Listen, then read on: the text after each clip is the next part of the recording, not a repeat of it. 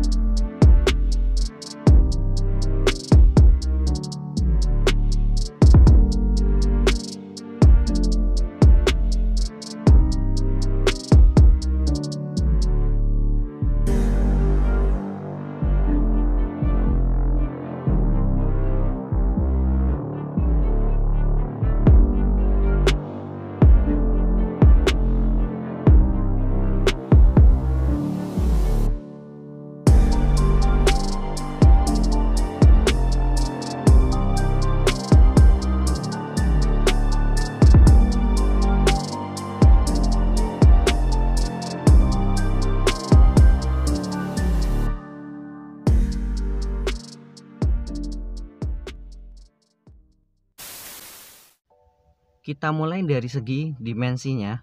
Bisa dilihat motor ini lebih melebar sedikit dan di bagian atas untuk stangnya setengah telanjang. Desain spionnya bulat, perpaduan warna. Speedometer juga ini warna krem perpaduan silver. Lebih cantik ya.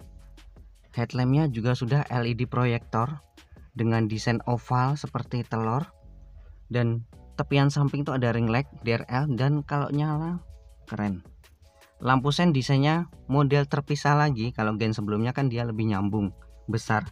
Dan ini finishnya cakep nih. Ada kristal-kristal ada gelapnya. Wis cakep sih.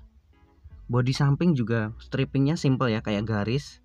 Dan itu menyatu sampai ke body belakang. Desain spakbornya ini kalau kita lihat secara detail ada yang berbeda loh.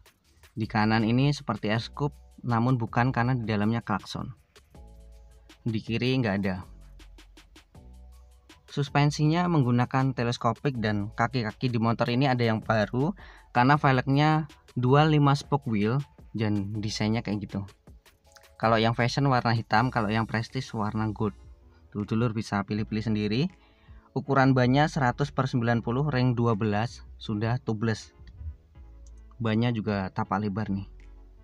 Diameter cakramnya ini sih kecil ya, belum wave disc kalipernya satu piston Nissin punya. Soal berat gimana nih bang? Berapa? Nah bobotnya ini lebih ringan karena hanya 95 kg untuk yang tipe ini. Kalau yang Smart Key itu 94 jadi bedanya lumayan karena dulu itu 99 kg kita lanjut ngomongin tipe mesin menggunakan 4 langkah SOHC berteknologi ISP tentunya responsif hemat bahan bakar berpendingin udara dan sistem suplainya PJM-FI full injection dan ini mempunyai rasio kompresi 10 banding 1 jadi masih mengandalkan mesin yang sama 110 cc. Namun diameter langkahnya ini lebih panjang. Ini 47 kali 63,1 mm jadi overstroke. Gimana dengan daya maksimumnya? Nah powernya ini mencapai 9 PS di 7500 rpm Torsinya 9,3 Nm di 5000 rpm. ACG starter juga sudah disematkan di motor ini di mana suara lebih halus ketika dinyalakan. Pijakan kaki ada yang baru nih model bergerigi dan ketika dilipat juga slim body, kelihatannya lebih praktis. Sanda sampingnya ini juga ada fitur set stand switch-nya. Ground clearance motor ini sih lebih tinggi dibandingkan Scoopy Gen sebelumnya berjarak 145 mm. Pijakan kaki bisa dilihat ini sih luas dan untuk boncengers ini kakinya bisa nekuk ke bodinya, lekukannya kan dia ada tuh. perpaduan warna untuk pijakan kaki ini kan lebih gelap jadi tidak gampang kotor kan warna brown terus ada warna silver juga perpaduannya kaki tentunya luas banget dan ini masih punya space segini nih lor nah saya tinggi 170 cm kalau posisi readingnya sama dengan Scoopy yang sebelumnya. Mirip banget. Speedometer panel instrumennya unik nih ya. Jadi masih klasik. Ada analog dan digital kecil. Jadi ini listnya warna merah kalau yang fashion. Kalau prestige itu biru ya berbeda juga. Beragam indikator ada di situ. Eco indikator jam digital odometer trip meter ada di bagian holder kiri pengaturan seperti biasa high beam low beam klakson lampu sen dan juga sudah ada smart locknya memang ini rada sedikit jauh ya holder kanan ada idling stopnya dan electric starter. Penguncian gimana? Kalau yang fashion ini masih shutter key. Kalau dulu-dulu pengen yang lebih aman smart key ya belinya yang prestige atau yang stylish. Nah, console box dan ini ada hook di tengahnya yang modelnya bisa dilipat bagus ya, simple, praktis.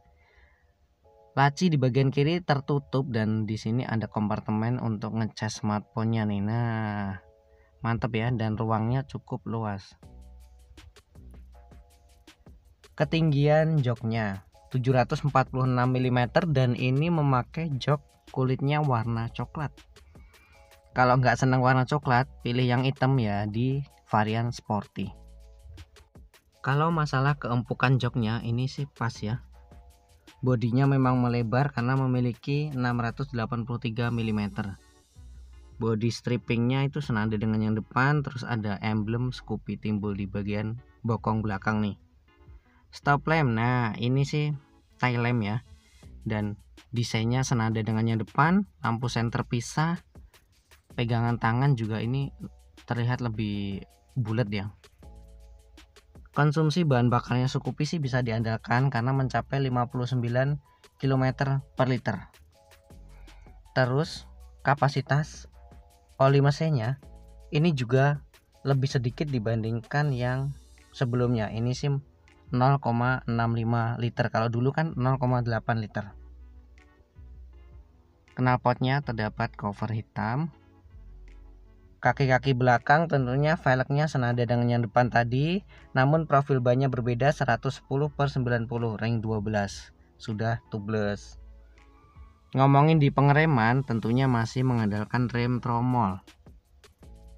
Suspensinya sendiri memakai lengan ayun dengan perdam kejut tunggal. Nih warna shocknya hitam. Tentunya belum sapteng ya. Lanjut kita lihat di bagian bawah joknya aja. Kapasitas tangki bahan bakarnya ini naik karena 4,2 liter yang dulu hanya 4 literan. Bagasinya juga sama naik juga ini 15,4 yang dulu 15,2 liter. Bisa nyimpen helm halvis di sini ya. Ada untuk gantungan helmnya belum ada seat stoppernya.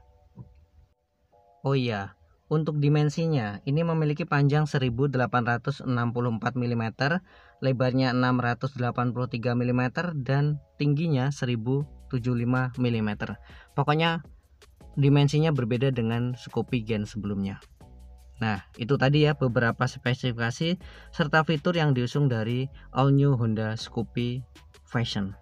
Ya wes ngono lalu singkat mengenai motor ini. Ojo lali tinggal no like dan salam dulur otomotif.